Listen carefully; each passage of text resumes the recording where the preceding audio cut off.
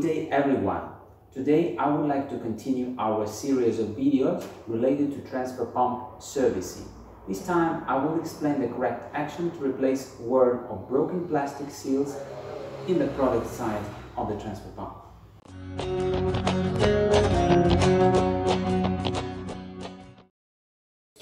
If you'd like to know more about the procedure of transfer pump disassembly, please check out our other videos and I'm going to start from the moment when we have already extracted the piston rod.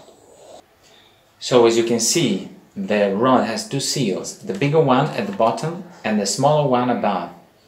When servicing the pump, both of them should be replaced.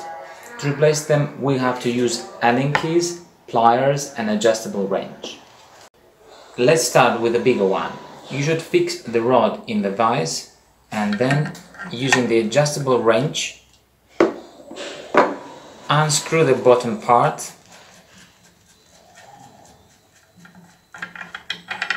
and extract it with a ball. Next you can take out both seals. During installation of the new seal, be careful with the lips, they should be directed upward. And next, put the ring. When it comes to a small seal replacement, first of all, you have to find the Allen screw and take it out using the Allen key number 2.5 millimeters.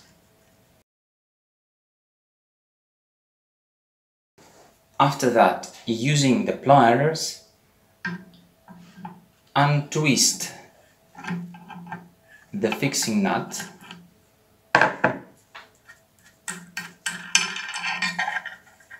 and take off the seal. When installing the small seal, don't forget that the lips of the seal should be directed downward.